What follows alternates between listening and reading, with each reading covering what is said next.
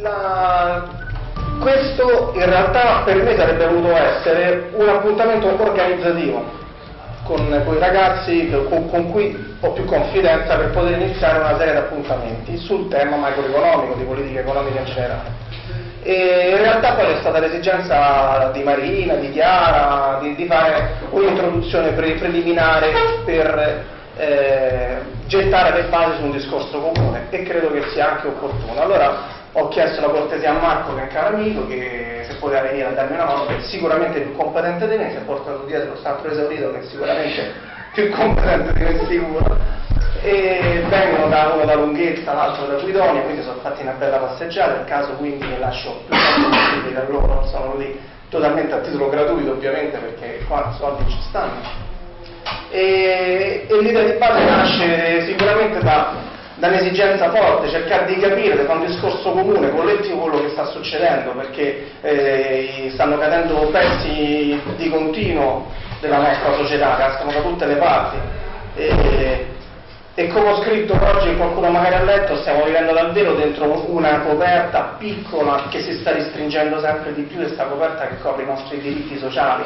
E per quanto tu la puoi tirare verso una battaglia sacrosanta, come per esempio nel, la, la tutela del nostro territorio, quando la tiri verso di te inesorabilmente stai scoprendo qualche altro diritto, perché siamo vittime di un sistema che non garantisce più i diritti della nostra Costituzione al 100% ma, ma li sta riducendo eh, in maniera can, cannibale, perché ci stiamo con questo eh, mangiando uno con l'altro.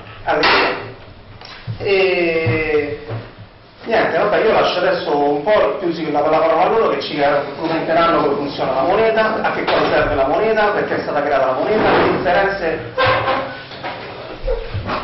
Vi chiedo la cortesia di abbassare la suoneria del telefono, ovviamente. Le differenze che ci sono tra la lira prima dell'81, dopo l'81, la differenza che c'è con l'euro, l'euro con le altre monete e perché la moneta eh, è uno strumento eh, importante e essenziale da individuare, cioè capire perché a cosa serve la moneta, se vogliamo vivere in un paese democratico. Quindi cercheremo di capire in che modo la moneta è strumento di democrazia oppure di controllo cercheremo di fare un quadro generico e lasciare più spazio possibile alle vostre riflessioni e per poter condividere insieme sensazioni e poi io vorrei anche ritagliare una parte dove gettare le basi per un incontro futuro. Eh, mi auguro già lunedì 20 di fare un altro incontro. Ho alcune idee e vorrei raccontarvele, ma vorrei sentire voi che cosa pensate. Quindi lascio la parola a Marco e Valerio. Innanzitutto saluto tutti quanti. E a differenza di Valerio ho qualche anno di più per cui faccio parte di quelli che, era, che erano contentissimi quando abbiamo cominciato in Italia ad avvicinarci all'Europa felicissimo il che da una parte è una, stato un attimino qualcosa di cui mi sono poi pentito perché prima di non ho intenzione di fare un discorso particolarmente tecnico. Carlo mi aveva chiesto se potevamo portare delle slide o altro, ho pensato che fosse più semplice parlarne e basta, almeno per questa parte non voglio entrare in dettagli che oltretutto non sono necessari, perché c'è un problema di base che va compreso, che è proprio del meccanismo. Prima cosa, vi assicuro, non stiamo parlando di signoraggio bancario, di complotti oscuri, non, nessuno di noi pensa che ci sia qualche casta di illuminati che governa il mondo, no, no, stiamo parlando di funzionamento semplice e lineare, di sistemi economici, di macroeconomia e di strategie aziendali di grossi gruppi finanziari, assolutamente alla luce del sole, quindi nessun complotto oscuro, semmai una strategia finanziaria assolutamente scoperta. C'è un esempio che rubo a Warren Mosler che chiarisce molto bene un concetto che eh, in qualche modo ci è sfuggito nel, negli ultimi tempi, che è quello di come funziona la moneta. Siamo stati tutti quanti abituati a credere, e ancora molti di noi lo credono, che in qualche maniera la moneta sia rappresentativa di un controvalore. Fino agli anni 70, fino a che vigeva il gold standard, fino al 1971 ufficialmente, in qualche modo la moneta era rappresentata da un controvalore in oro. per cui la quantità di moneta circolante rappresentava la capacità d'acquisto dell'oro che veniva conservato nelle banche centrali del paese. Questo non è più vero di fatto dal piano Marshall, quando gli Stati Uniti hanno cominciato a stampare dollari per mandare aiuti, ufficialmente dal 71, dalla fine del gold standard. Dopo quel momento è nata una grande confusione su cosa si basa la moneta. Io sono cresciuto pensando che fosse in qualche modo legata al PIL, a, alla quantità totale di beni che il paese era capace di erogare. Non è vero niente. L'esempio che fa Warren Mosler è molto semplice. Prende un pezzo di carta e dice questo è il mio biglietto da visita. Chi di voi è disposto a lavorare 4 ore in cambio del biglietto da visita? Nessuno. Adesso vi dico che alla porta c'è un tizio armato che ho pagato che non vi farà uscire di qui se non gli date almeno due biglietti da visita. Improvvisamente ci saranno persone che saranno interessate a lavorare in cambio del biglietto da visita. La moneta funziona così.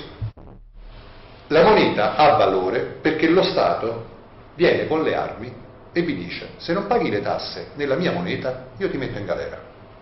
Fine. Tutto il sistema della moneta si regge solo e soltanto sulla domanda e sull'offerta. Non c'è un valore intrinseco. Ciò che viene richiesto ha valore. Finché c'è una domanda, c'è un valore. La domanda viene creata con la forza, con le armi. Fine. Non c'è niente di poetico, non c'è niente di romantico, è un sistema assolutamente freddo. Il primo ruolo delle tasse, il più importante, è quello quindi di creare la domanda. A me Stato, quindi, che cosa costa creare la moneta? Niente, il costo di stampa. A questo punto vi pongo un altro problema, quello che si studia all'inizio di qualunque corso di economia. Cioè, se io emetto la mia moneta e diciamo all'inizio dell'anno nella mia nazione ho emesso mille petecchioni. Alla fine dell'anno tasso tutti quanti voi e mi trovo ad avere mille petecchioni di tasse. La domanda è semplice. Quanta moneta è rimasta in, tas- in tasca ai cittadini? Zero. Esattamente. Questo ci porta ad uno degli elementi più importanti, fondanti dell'economia, che è i, i saldi finanziari di settore, l'ho detto bene? Saldi settoriali. Saldi settoriali finanziari di Wine Godley. Cioè, ogni, ogni, Stato ha una contabilità che in qualche modo può essere rappresentata come una partita doppia, entrate e uscite. Noi prendiamo l'intera economia di uno Stato, qualunque essa sia, non ci poniamo problemi di giustizia o di altro, facciamo un'analisi puramente grossolana e la dividiamo in tre settori che sommati danno la totalità. Pubblico, privato, estero. Il pubblico spende con la spesa pubblica, che sono le uscite, incassa con le tasse, entrate e uscite. Il privato spende con le tasse, con la spesa e incassa soldi dalla spesa pubblica in qualche maniera. In, un certo modo possiamo dire che il saldo del privato sono i risparmi, il settore estero è quello che serve a bilanciare perché i soldi vanno dentro e fuori, quindi col segno più e meno metterò sempre l'import e l'export. Ora, visto che i soldi che escono da una parte entrano da un'altra, è abbastanza ovvio capire che la somma dei saldi di questi tre settori fa zero, perché i soldi se sono usciti da una parte sono andati da un'altra, non c'è dubbio. In qualunque economia il settore estero, cioè l'import-export, non impatta mai per una cifra significativa o sopra il 10%. Se l'economia è sana ha un impatto che è anche inferiore al 5%. Diciamo il 10%, teniamoci nel caso pessimo. Questo vuol dire che per il 90% il risparmio dei privati coincide col deficit dello Stato. Se lo Stato non è in deficit, i privati non hanno risparmi. D'altra parte l'abbiamo detto prima, se io non ho speso moneta, che non riprendo indietro, come fate voi ad averne? Io l'ho messa la moneta. Se io la riprendo indietro e non rimango in deficit, ecco là che il risparmio non c'è. Esatto. Sul volantino che non so se l'avete lì, è rappresentato il saldo finanziario dei settori che non è un teorema, è la rappresentazione di dati reali che rispecchiano esattamente il saldo finanziario del settore di Cotoli, anche perché questa non è una, un qualcosa da provare, è semplicemente un'analisi, una suddivisione di ciò che esiste, puramente aritmetica. Questo discorso non sta ancora andando a guardare la curva di distribuzione fiscale, di distribuzione della ricchezza, il benessere, no, è un approccio esclusivamente macroeconomico. Quando parliamo di settore privato intendiamo tutto il settore privato, eh? quindi intendiamo i lavoratori, intendiamo le banche qualunque cosa. Ma qualunque cosa vada ad orientarsi poi a una giustizia sociale di qualunque tipo, riguarda la divisione della ricchezza di questo settore e se la, questa, questo settore non ha ricchezza c'è poco da dividere, indipendentemente dall'approccio politico che si può adottare o si può scegliere per andare poi a dividere il saldo del settore privato. Quindi mi posso preoccupare di garantire il lavoro, di tassare di più ricchi o meno, posso decidere che i ricchi si devono arricchire o no, ma in ogni caso sto dividendo quello che è il saldo finanziario del settore privato. E se questo saldo finanziario non c'è, non sto dividendo niente. Questo ci porta a una seconda considerazione, il deficit pubblico. Alla fine dell'anno il deficit pubblico è la differenza tra quello che lo Stato ha speso all'inizio dell'anno e in che modo ha speso. L'ha speso pagando spesa pubblica, pagando stipendi pubblici, pagando opere pubbliche, emettendo titoli e alla fine dell'anno l'ha incassato con le tasse. Se non c'è questo deficit, non c'è nessuna ricchezza che rimane al settore privato.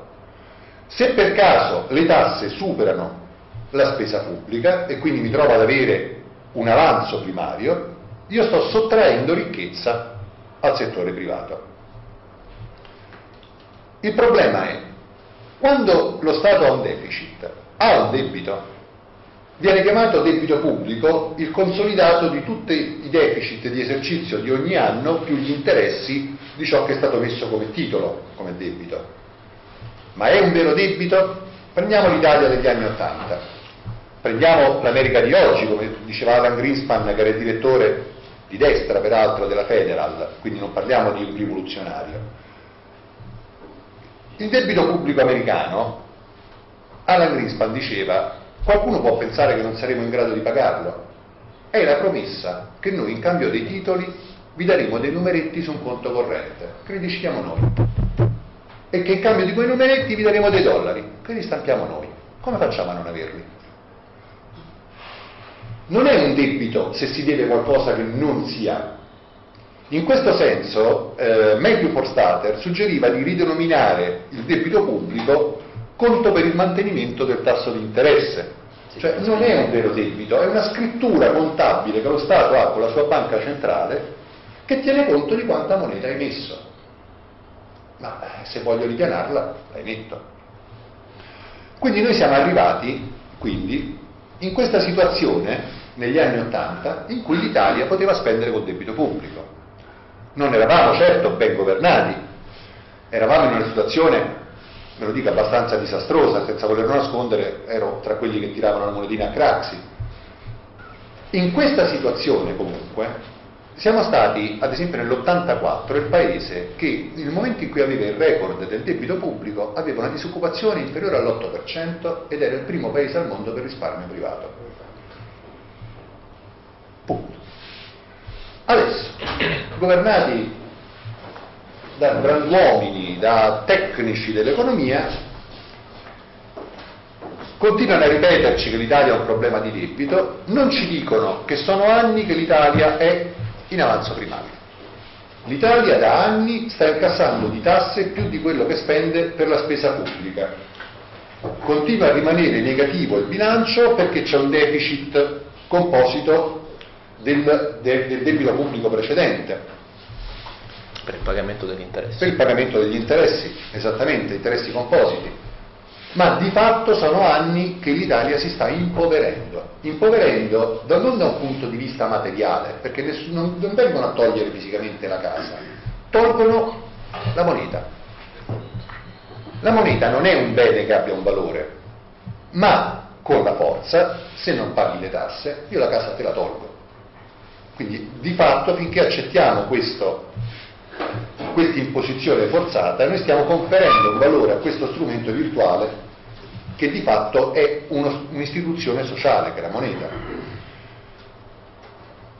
Nel 1981 c'è stato il primo grande strappo, il primo eh, buco in questo meccanismo, che ancora se vogliamo era un problema, ma era un problema risolvibile. Dando retta a Friedman, un economista neoclassico, quasi tutti, non quasi tutti, buona parte degli stati occidentali hanno dato colpa dei, dei problemi economici e dell'inflazione agli stati spendaccioni, alla spesa pubblica esagerata. A posteriore sappiamo che questa era, il termine tecnico era una cazzata, scusate, proprio era una cazzata c'è stato un problema di shock petroliferi che hanno inciso sulla spesa e che hanno causato un innalzamento dell'inflazione. Questa cosa si è chiarita velocemente, ma è rimasto il concetto sbagliato, smentito, è rimasto. Gli stati non devono spendere, devono invece rivolgersi ai mercati che sono virtuosi. Quindi uno Stato che può spendere a piacere, con l'unico rischio se spende e spande di far aumentare l'inflazione ma la riduce con le tasse, si trova invece a prendere soldi in prestito dal mercato. Il che è un controsenso. Cioè lo Stato che emette moneta la deve chiedere in prestito al settore privato. Se ci pensate è pure complicato da, da concepire come ragionamento. A seguito di questo atteggiamento, perché poi non è altro che un atteggiamento, non c'è stato un cambiamento strutturale vero, ci fu la famosa lettera di Andreatta a Ciampi, allora presidente Andreatta, ministro del tesoro, Ciampi era il presidente della Banca d'Italia, in cui diceva Andreatta a Ciampi che la Banca d'Italia non è più vincolata ad acquistare i titoli di Stato. Quelli che non rimangono invenduti sul mercato primario, quindi sull'offerta di titoli di Stato, la Banca d'Italia non è più obbligata ad acquistarli. Per inciso, questa regola è sempre stata valida per la London Bank, che non è mai stata obbligata ad acquistarli, ma esattamente come la Federal, essendo controllate dallo Stato, fanno l'interesse dell'economia dello Stato, li acquistano pure senza obbligo, che scherziamo. Altrimenti che succede? Succede che per vendere l'invenduto io sono costretto ad alzare i tassi di interesse. Ed ecco lì l'innalzamento del debito pubblico perché Ciampi l'ha preso alla lettera nel senso più dannoso per l'economia italiana, quindi non ha più comprato titoli di Stato. Fine. Tutto l'invenduto rimaneva invenduto e andavano alzati i tassi di interesse emettendo titoli di Stato che erano sempre più onerosi in termini di interesse. Da un certo punto di vista il problema già c'era, ma era un problema relativo, perché in ogni caso lo Stato stava offrendo ancora quei famosi pettizioni, stava offrendo carta che stampava, per cui non era un problema vero c'era un innalzamento numerico del tasso di interesse, un innalzamento del debito pubblico, ma come abbiamo detto non era un vero debito. Già da quegli anni ha cominciato a girare però tutta una manfrina che poi ci è rimasta. Quanti di voi hanno sentito fin da bambini ognuno che nasce in Italia ha sulle spalle un debito? Ma di che? Abbiamo detto prima che il deficit dello Stato è il credito dei cittadini. Quindi ognuno che nasce in Italia ha in tasca, mediamente, quel credito che corrisponde al debito pubblico. Non è un debito. Il debito non è dell'Italia, è il debito dello Stato che è l'emissore, il soggetto che emette valuta a costo zero. Quindi non è un debito, è semplicemente una nota. Ti devo mille, ciao, che non mi costa niente produrre, niente di più. Qui poi è subentrato il vero casino. Quando siamo entrati nel meccanismo dell'euro, non voglio scendere nel dettaglio, nei tecnicismi, di tutta la parte dello SME, dell'allineamento, dello sgancio momentaneo, vado ancora per macro concetti. Quando l'Italia è entrata nell'euro, che cosa è successo? Prima cosa, il debito pubblico, che prima non era un debito, ma era una scrittura contabile, è stato ridenominato in una valuta che non era più proprietà dello Stato italiano. A tutti gli effetti una valuta straniera, visto che nessuno in Italia emette euro, noi avevamo qualcosa che non era un debito e abbiamo deciso, tutti contenti, di trasformarlo in un debito. ci siamo accollati il debito che non esisteva prima. Prima genialata. Seconda genialata, lo Stato non può più emettere soldi, li deve chiedere in prestito alle banche private. Alle banche private i soldi vengono dati in prestito dalla BCE che emette non soldi, perché dal giorno della conversione, quando tutti quanti i soldi che circolavano in Europa sono stati convertiti in euro, la BCE non ha più emesso soldi come spesa pubblica, la BCE ha solo e soltanto emesso crediti. Le banche private hanno contratto un debito con la BCE, gli stati hanno contratto un debito con la banca privata. Da quel giorno sono cresciuti i debiti, è aumentata la quantità di moneta circolante man mano che aumentavano i debiti, ovviamente, perché la moneta veniva emessa solamente come debito verso banche private, verso una banca centrale straniera, e in realtà la quantità totale contabile di moneta circolante è diminuita per effetto degli interessi e per effetto del fatto che una moneta forte veniva usata come valuta di riserva, infatti sono cresciute ad esempio in Russia le masse di euro monetarie. Dal giorno della conversione sono diminuiti gli euro, letteralmente. Oggi noi abbiamo un'inflazione di circa l'1%, i prezzi sono andati crescendo dal 99 ad oggi, i soldi sono andati calando. Ma non nel senso che ognuno di voi prende di meno perché lui ci sta rimettendo, no, no, sono andati calando globalmente.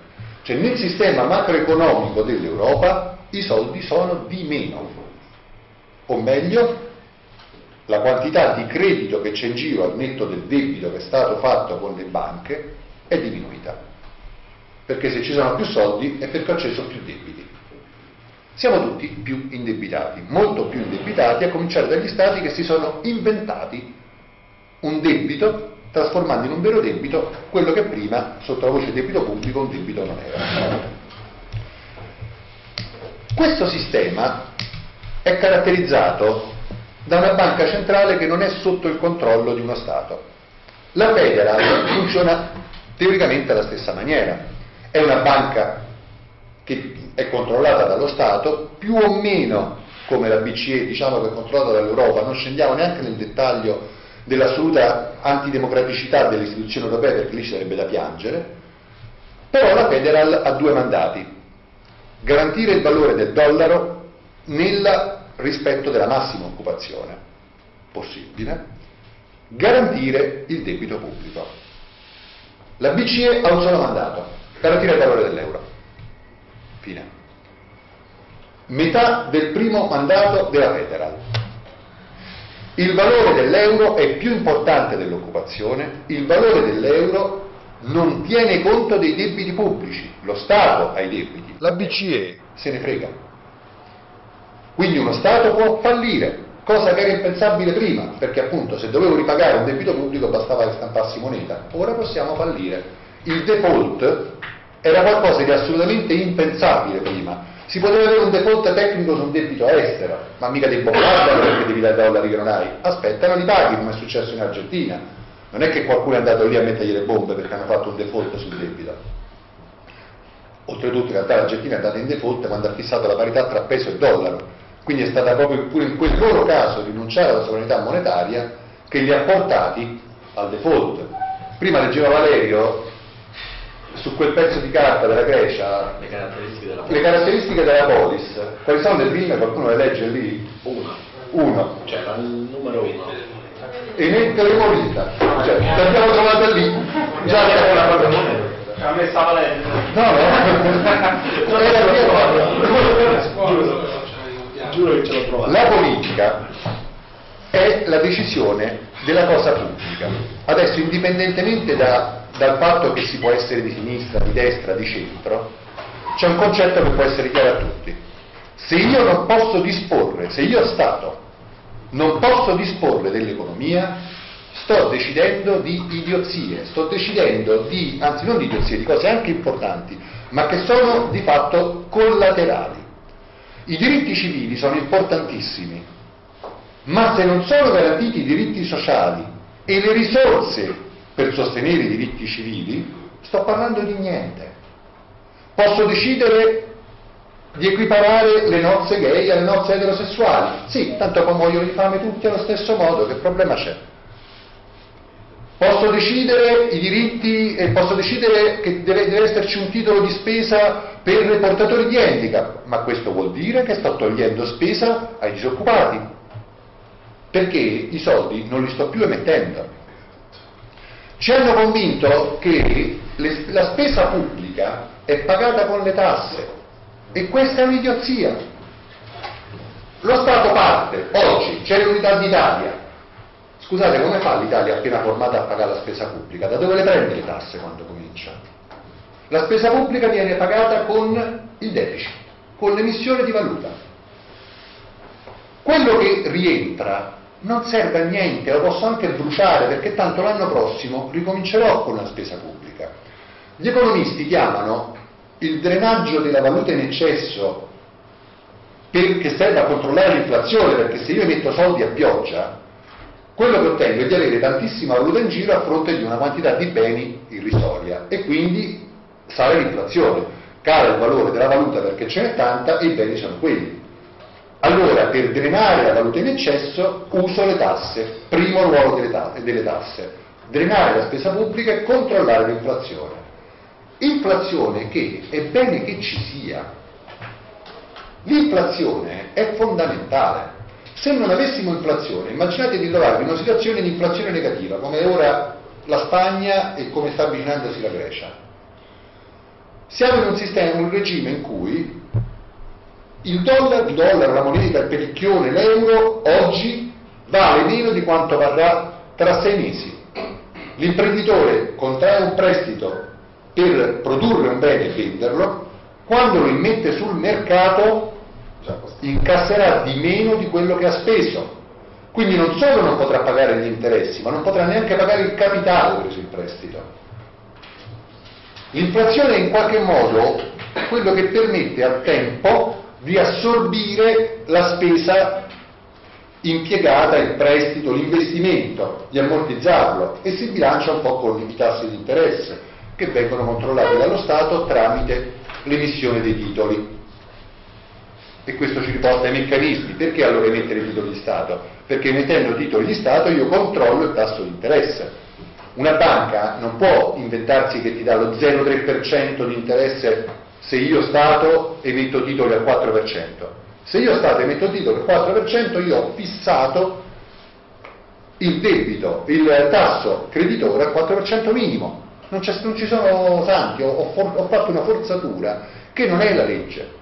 Se io impongo le cose per legge con la polizia che ti viene ad arrestare se non le rispetti, ci sarà sempre qualcuno che trova il modo di svicolare, fatta la legge e trovato l'inganno.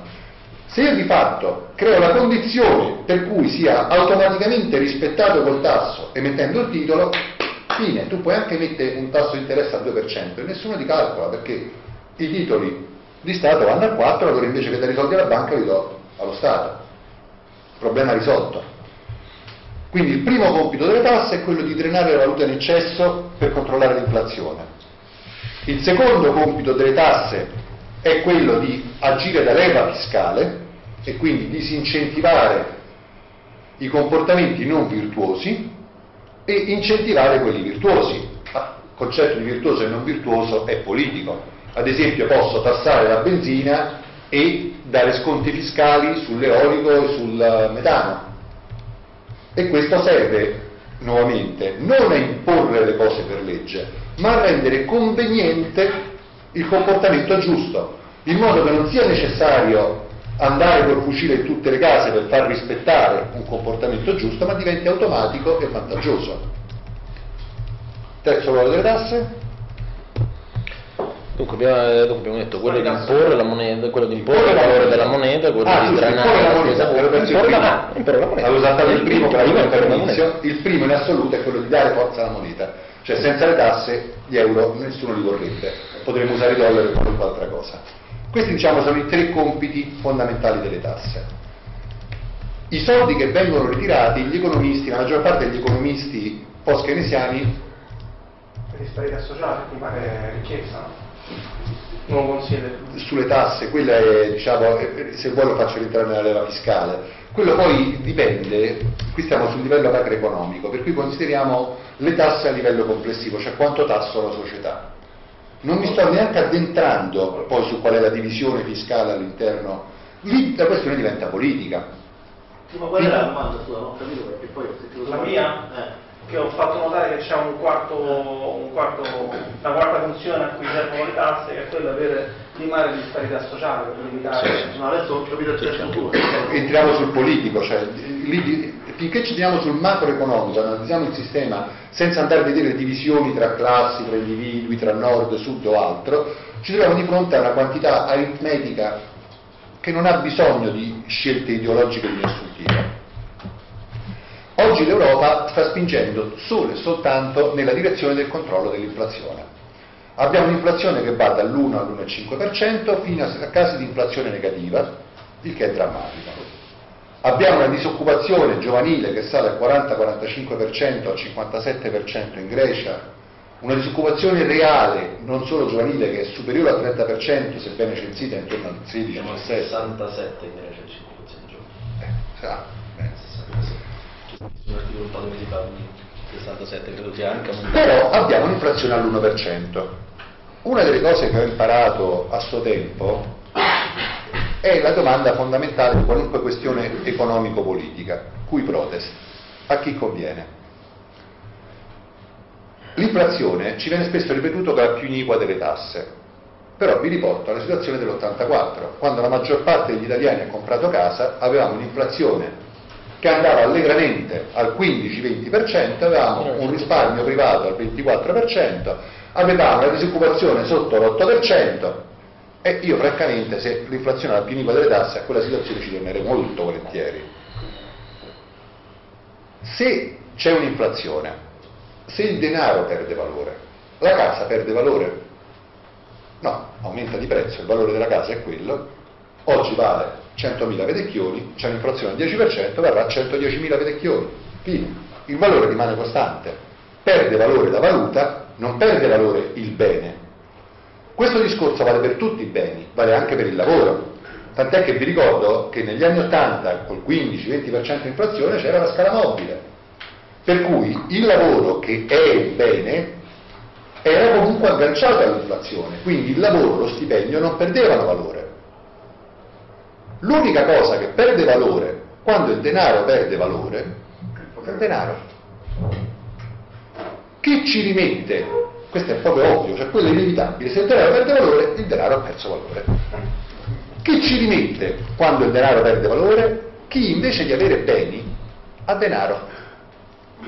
Grossi gruppi finanziari, fondi di investimento, banche d'affari, ops, i proprietari della BCE in pratica. Perché la BCE non è statale ma è proprietà delle varie banche private e centrali grosse e di fatto e di fatto ecco, parliamo, stiamo parlando di Ciampi, la sua decisione è stata tutto fuorché orientata al benessere dell'Italia, è stata nella stessa identica direzione nell'81 quando Ciampi ha è 81-84 questo Il, il divorzio Sì. del 1981. 81. Nell'81, quando c'è stato appunto il divorzio dalla Banca Italia del Tesoro, Ciampi poteva benissimo decidere di, di continuare come faceva la London Bank a comprare i titoli di Stato residui di emissione. Ha deciso di no. Perché in questo modo saliva il valore del denaro. Il, il valore del denaro è importante che salga, l'inflazione bassa, fa salire il valore del denaro, la scarsità di denaro fa salire il valore del denaro. Se l'acqua c'è ovunque, l'acqua non ha valore. Se l'acqua esce da una sola canna, di una sola fontanella, chi la controlla ha un grosso valore. Se gli stati non possono spendere, non solo i soldi dei gruppi finanziari sono garantiti, sono fondamentali, controllano le economie di interi paesi. Non è un caso che le proposte finanziarie vengano da JP Morgan, Goldman Sachs e non in maniera nascosta, per questo non parlavo di complottismi. Due anni fa JP Morgan, no, un anno e mezzo fa, JP Morgan, JP Morgan è andata alla Commissione europea a chiedere ufficialmente, potete andare a trovare gli atti, che fossero fatte pressioni sugli Stati membri perché fossero tolte dalle costituzioni dei paesi dell'Eurozona le pregiudiziali antifasciste che rendono difficile adottare le politiche di risanamento sociale opportuno.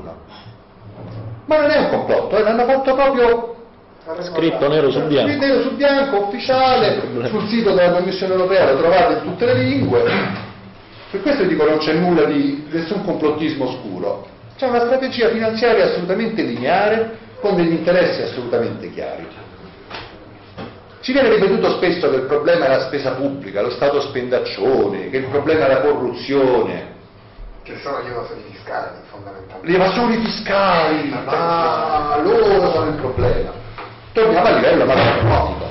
Lo Stato è in avanzo, sta incassando più di quello che spende, sta impoverendo i cittadini italiani. Per assurdo, se non ci fosse evasione fiscale, saremmo ancora globalmente più poveri. È una cosa grottesca. L'evasione fiscale è un problema di giustizia civile e sociale, ma a livello macroeconomico in questo momento sta contribuendo a frenare l'impoverimento complessivo. Quindi per assurdo, ed è un assurdo, e ve lo dico da persona che odia gli evasori, in questo momento se non ci fosse evasione saremmo messi ancora peggio, perché avremmo ancora meno valuta che circola. Chiaro che i grossi evasori i soldi ce l'hanno alle Cayman, per cui non è che sto giustificando qualunque evasione, eh, né sto giustificando l'evasione in sé. Però so, a livello numerico non possiamo che constatare che se non ci fosse evasione ci sarebbe meno valuta che circola. Oltretutto la spesa pubblica è fondamentale, non è un problema, è una risorsa. Lo Stato che spende sono i cittadini che incassano. John Maynard Keynes, che non era esattamente Lenin, diceva che piuttosto che tenere cittadino due cittadini disoccupati e pagare per le loro spese, per la loro disoccupazione, per il danno sociale che arrecano, perché questo comporta anche delinquenza, costa, è più conveniente a livello sociale pagarne uno perché scavi una buca e un altro perché la riempia. In questo modo, quindi proprio il, il perfetto esempio di spesa pubblica improduttiva, la cosa più brutta e cattiva che ci viene dipinta. Questa spesa pubblica improduttiva genera due redditi che avranno ricadute su tutto l'indotto e che aumentano la domanda aggregata. Quello che abbiamo in questo momento, la crisi che abbiamo oggi, è una crisi di domanda, mancano i soldi, la gente non compra, le ditte, le aziende, i costruttori si ridanno nei denti i loro prodotti e quindi è inutile aiutarli perché tanto quelli continueranno a non vendere. È inutile salvare le banche perché un'azienda che fallisce per poter essere ricostruita ha bisogno di mesi e di anni a seconda del tipo di azienda per ricostruire tutto l'indotto, tutto ciò. Pensate fallisce la Fiat quanto ci vuole per rifare un'azienda che impiega tanta gente. Se fallisce una banca per rifare una banca ci vogliono 24 ore.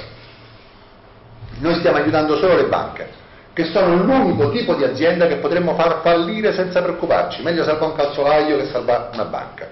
Calzolaio fa la spesa, compra il pane e per fare il calzolaio serve il mestiere, serve la bottega, servono gli attrezzi. Per fare la banca serve una stanza, il telefono e il capitale. Fine. Non serve nient'altro, di fatto. Ah, un collegamento a internet, esageriamo. Quindi sti- stiamo salvando le banche, non stiamo salvando le aziende soprattutto anche salvare le aziende sarebbe relativo, cioè il finanziamento ai piccoli e medi imprenditori. Dategli i clienti, non gli date i soldi. Il problema del piccolo e medio imprenditore è che non vende, è che lo Stato non paga i conti. Quindi ci riporta sempre allo stesso punto comune. Quello che manca è la spesa pubblica. Tutti quelli che vi dicono che la spesa pubblica è un problema e che ci sta creando disagi, stanno in realtà portando il discorso all'opposto di quello che è. Una spesa pubblica improduttiva è più vantaggiosa di una riduzione di spesa pubblica. Poi è chiaro che se si fa una spesa pubblica produttiva e fatta bene è meglio per tutti. Ma intanto se triplicassero le auto blu avremmo più risorse, più stipendi che vanno in giro che aumentano la domanda aggregata e che risollevano e che aiutano la piccola e media impresa. Cioè, paghiamo gente per scavare per riempire le buche, paghiamo le auto blu o qualunque cosa sia, cioè anche le cose più brutte, più sbagliate, sono più d'aiuto che ridurre la spesa pubblica. E questo penso di aver detto abbastanza enormità per la prima mezz'ora. Ci sono domande prima che andiamo avanti? Io non so una cosa. Lei ha parlato adesso, fatto l'esempio delle auto. Dammi del tutti, prego. Ah sì. Tu, tu hai detto adesso hai fatto l'esempio delle auto blu, no?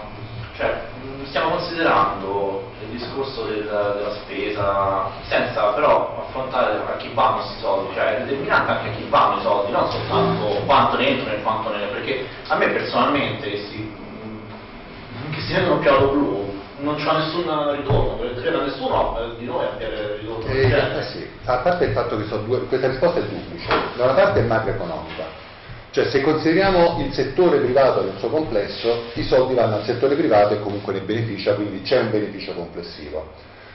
Questo approccio macroeconomico in realtà si riflette anche su di te, sulla microeconomia, perché se, se io all'improvviso ho 5.000 stipendiati di auto blu, questi comprano casa, comprano il pane, comprano le scarpe, vanno in giro, comprano i vestiti, comprano, spendono.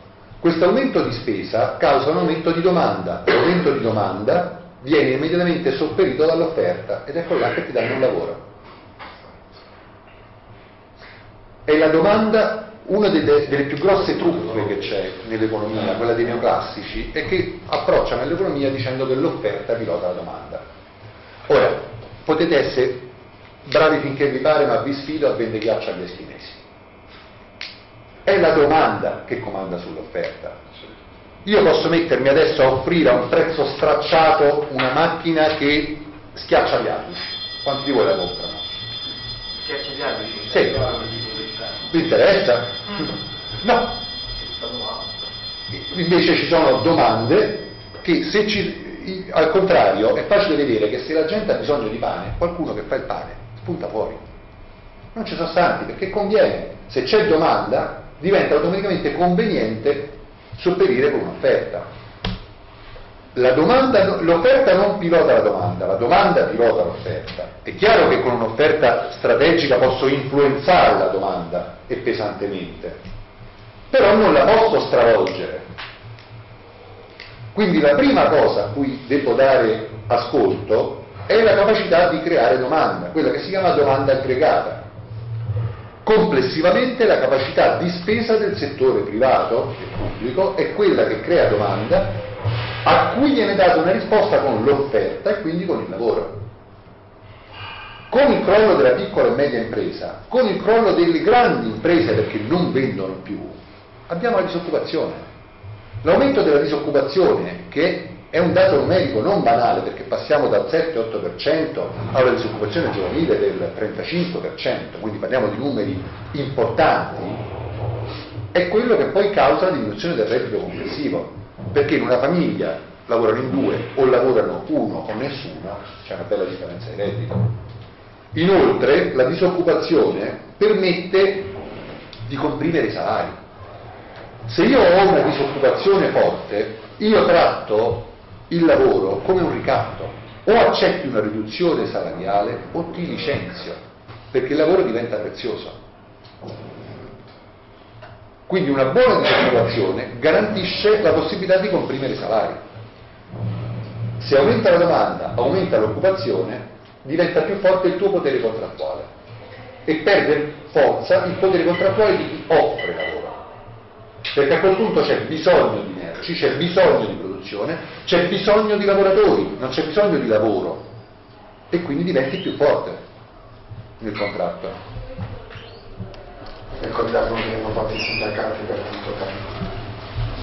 I sindacati che si preoccupano di salvare le imprese No, no, si, si preoccupano di salvare il loro posto. Sì, ma al di là di questo, anche facendo finta che i sindacati siano buoni e che i sindacalisti non se ne occupino, noi abbiamo avuto negli ultimi anni sindacati che portavano come argomentazioni in maniera pubblica, eh, non, come, appunto, non come dire mi, provo, mi salvo il mio posto ma non lo dico, no, la- la- l'argomentazione ufficiale era dobbiamo salvare l'impresa.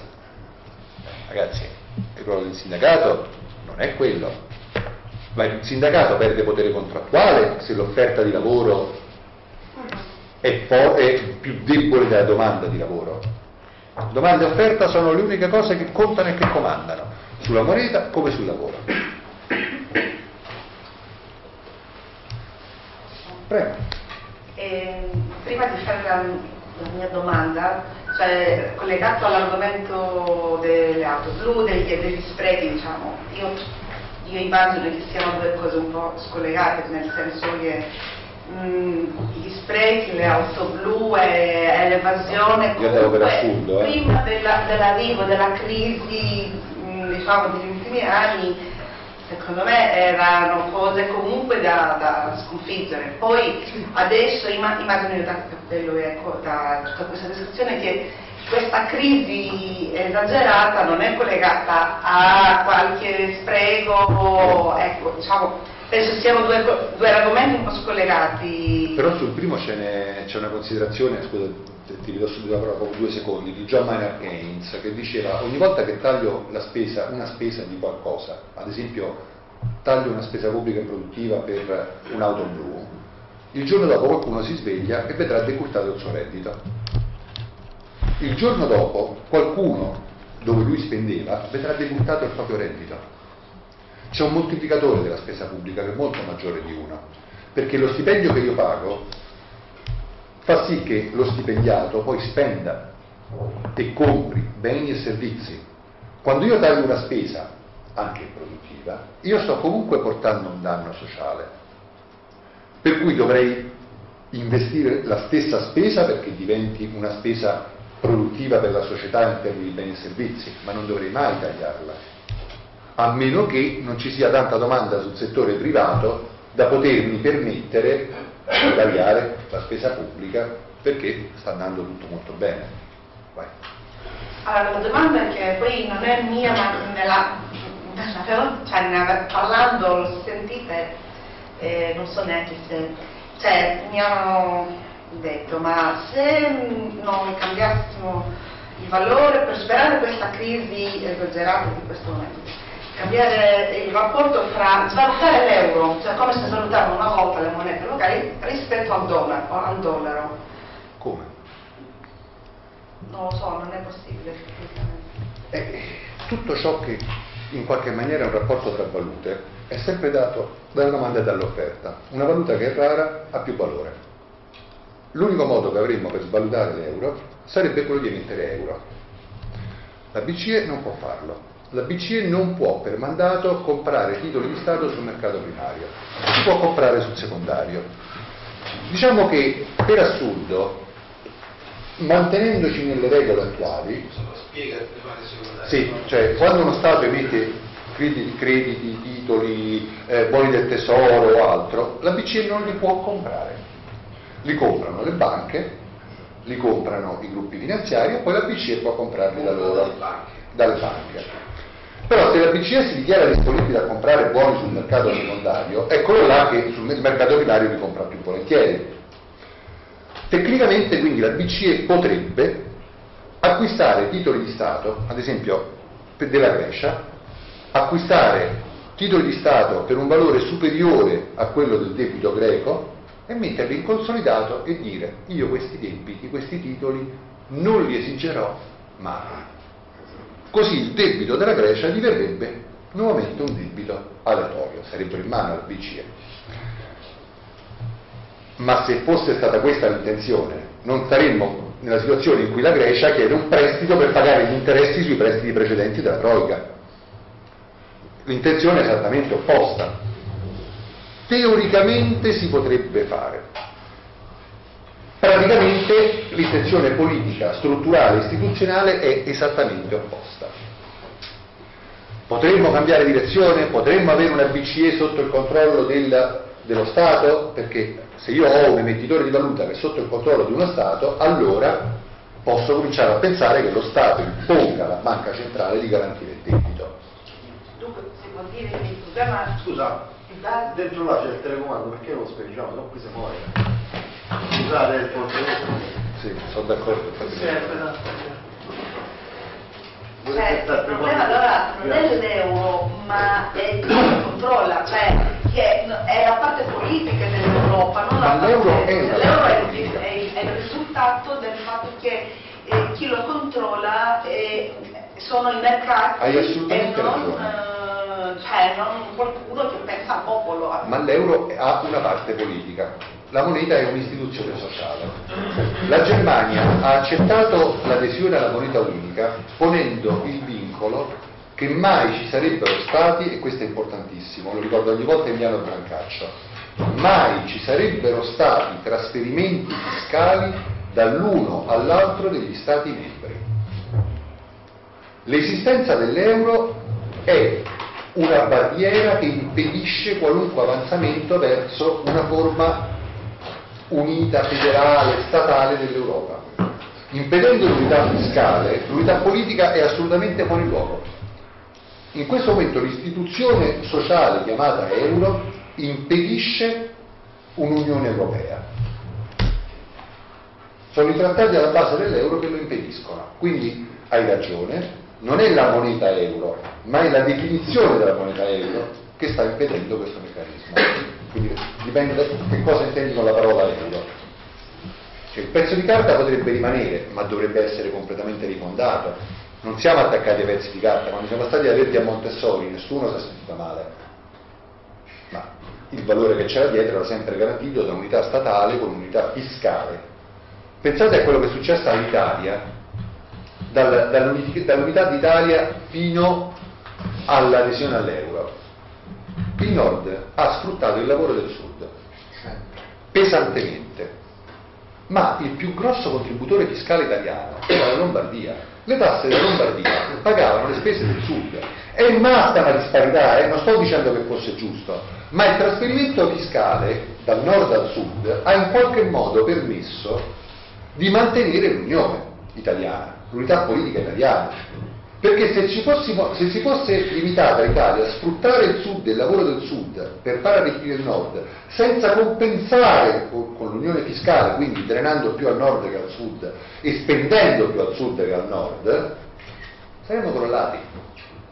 L'unità fiscale è assolutamente necessaria per mantenere un'unità monetaria e in questo momento l'unità fiscale è assolutamente impedita dall'euro e dai trattati su cui si fonda, principalmente Maastricht e Lisbona. Quindi penso che sia una questione di tempo.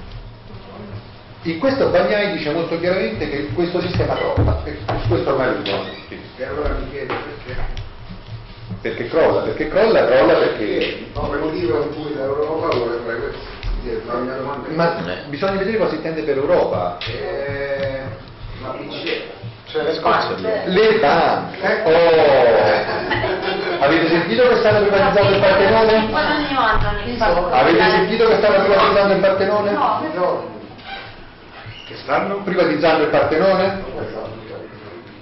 Tutte le università greche sono state privatizzate, la televisione pubblica è stata privatizzata, la polizia è praticamente stata privatizzata, affidata in buona parte all'Eugenfor, perché abbiamo detto prima che la moneta si regge sulla forza. La prima istituzione dell'Europa è stata l'euro, la seconda la polizia, l'Eugenfor, ovviamente. Perché quando sono cominciate le rivolte in Grecia, il capo della polizia ha detto che non avrebbe attaccato i manifestanti disoccupati, l'hanno preso, l'hanno rimosso e hanno mandato l'Eugenfor, subito. Prima applicazione della polizia, perché la moneta si basa sulla forza, prima mi baso sulla forza degli Stati membri. Quando poi pian piano gli Stati cominciano ad andare a gamba all'aria, è il caso che la forza sia centralizzata. Quindi il primo passaggio è la moneta, il secondo passaggio è la polizia.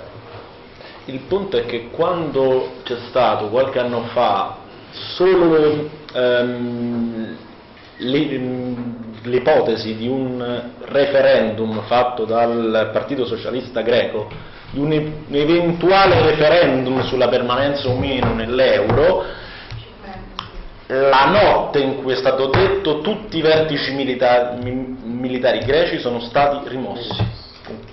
Per quale motivo? Date la risposta da solo. Sì, ma perché la Grecia?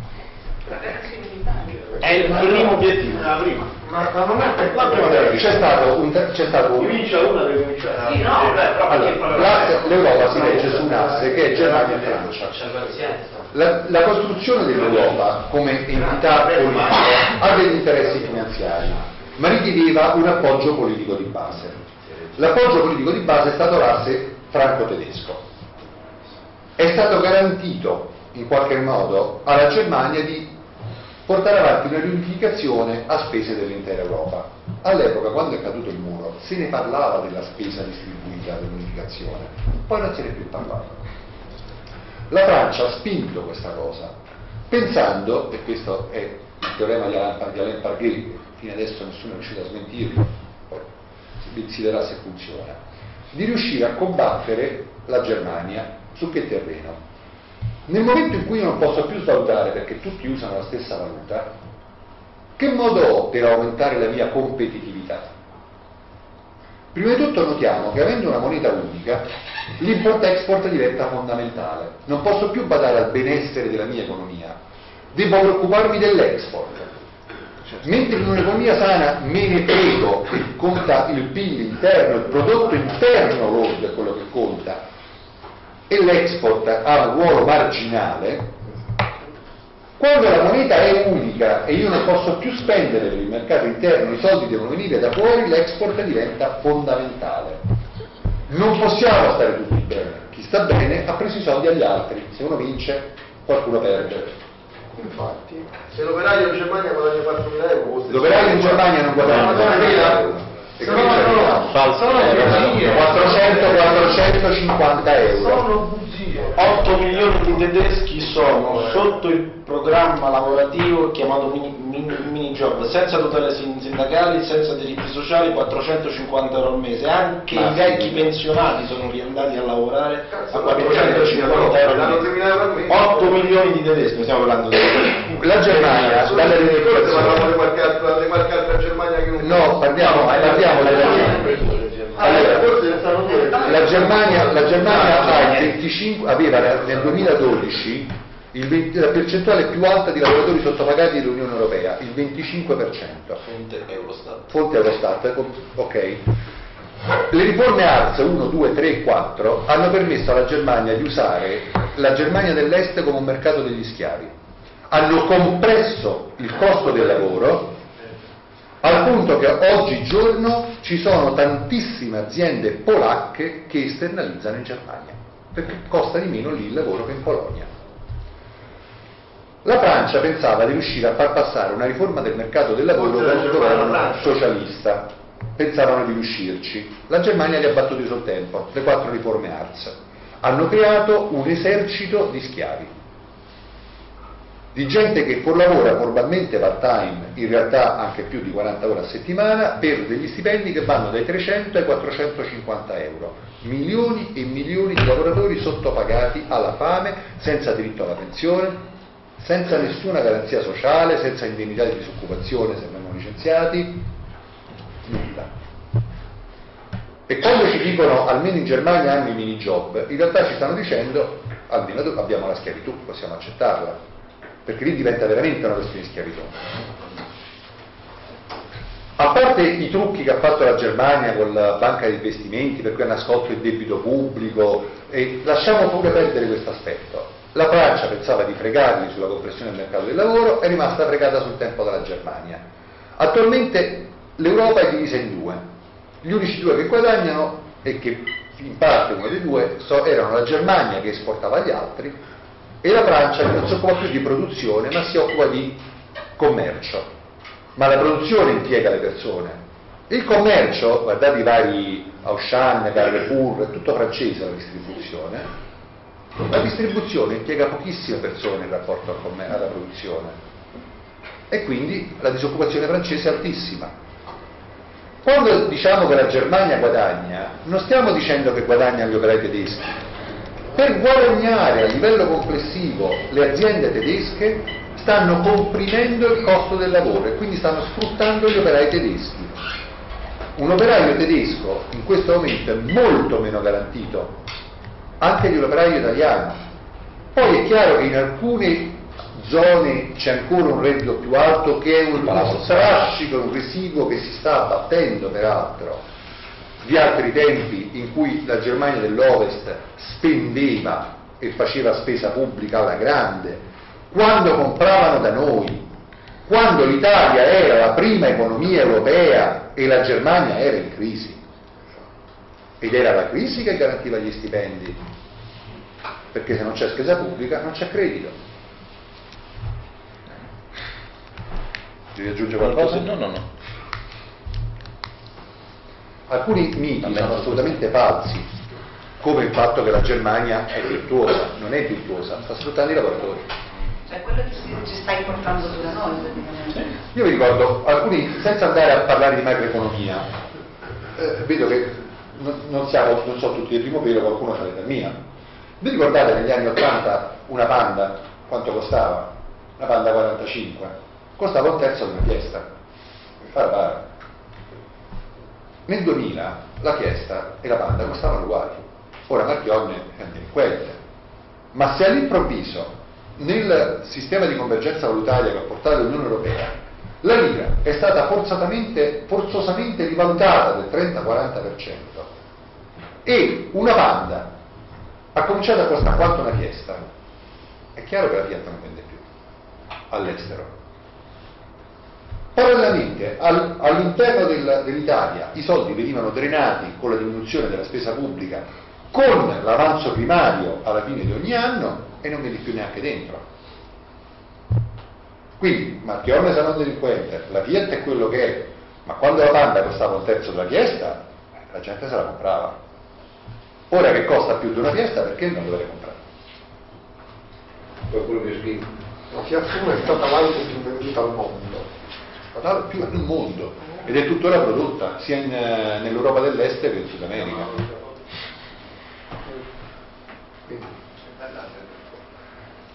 Volevo raccontare perché era la Grecia prima. Ah.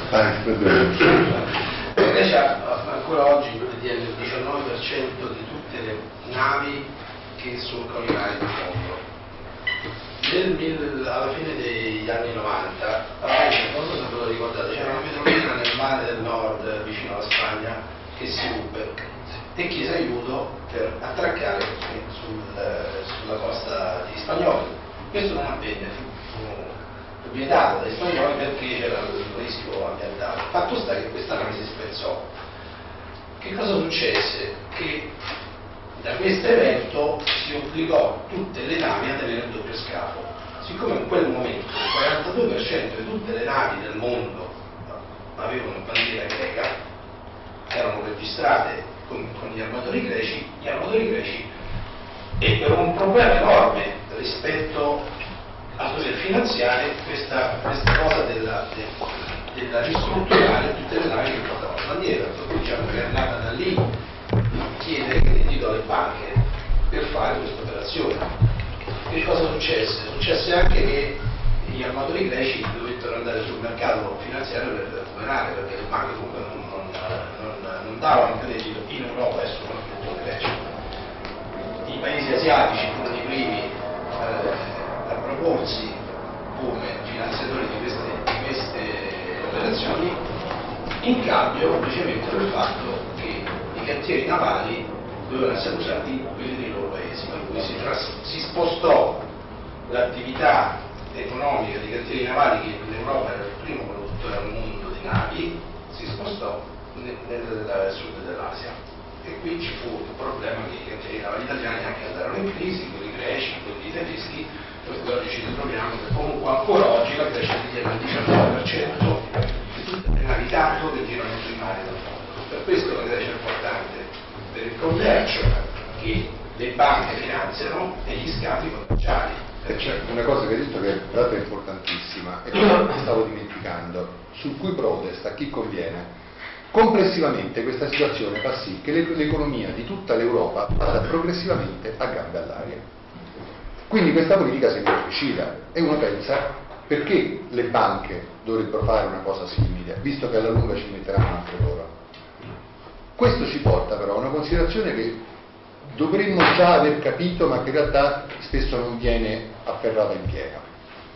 Sappiamo tutti che l'economia, l'azienda, le aziende, la produttività sono controllate ormai dalla finanza. Questo immagino che non sia qualcosa che stupisce nessuno. Bene, quello che è cambiato è il time frame, la scala del tempo. Un'economia fa piani per quest'anno, per i prossimi anni e per i prossimi decenni. La finanza non ha niente che sia più in là del next quarter, del prossimo trimestre. Alla lunga andremo tutti male il prossimo trimestre, i miei soldi sono saliti di valore, non c'è nient'altro per conti.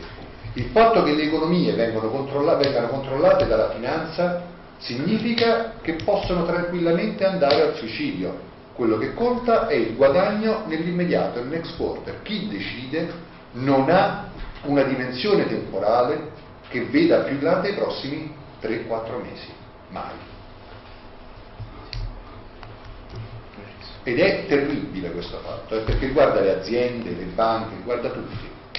Vorrei raccontare una cosa che mi è successa a me questa settimana su una pratica finanziaria una banca qui italiana possiamo anche dire che oggi è italiana ma relativamente perché è francese. Una società che non ha problemi rifiutata la motivazione non rientra ne- nelle strategie della banca finanziare questo tipo di attività. Ho detto scusa allora dimmi solamente quali sono le attività che finanziate volentieri. Farmacie e indovinate chi altro Sale slot. un pochino dopo cosa c'è? Sembra una cosa strana è un mercato garantito. Eh, serve domanda, questo va Purtroppo c'è sembra sono cinici al punto che per loro il più importante è come quello che eh, dico una cosa brutta taglia l'attributo perché poi le fa un dispetto a noi a molti no? perché poi se fa mercato anche le banche banche ormai finanziare le aziende non conviene più visto che riescono a prendere credito dalla BCE per comprare titoli di Stato al 4-5%. E questo è il primo punto. Il secondo punto c'è Michael Hudson. Se vi capita, eh, se avete occasione, abbiamo una serie di interviste, video tradotti sul canale YouTube di Eurotruffa e ce n'è uno particolarmente importante di Michael Hudson sulle- sulla pianificazione dell'economia e va ad analizzare chi erano gli amministratori delegati, cioè all'inizio erano gente della produzione, poi nel dopoguerra sono, poi sono stati avvocati, poi sono stati militari quando c'era il periodo bellico, poi sono stati esperti di marketing quando, è, quando è cominciata la comunicazione negli anni 60, oggi come oggi sono tutti espressioni della finanza. E dagli anni 80 è partita un'altra cosa che ha fatto crollare la produttività, le stock options. Quindi, io sono un capitano d'industria. Che cosa mi conviene fare? Investire 5 milioni di euro sulla ricerca per una nuova linea che poi va testata, che va collaudata, e poi bisogna vedere il mercato, la pubblicità? Oppure io che faccio? Con quei 5 milioni compro le, le stesse azioni della mia azienda. In questo modo salgono di valore e le stock options che io mi sono dato salgono di valore. Certo, ho bloccato la ricerca, però è convenuto. E che mi direste se ci fermassimo 5 minuti?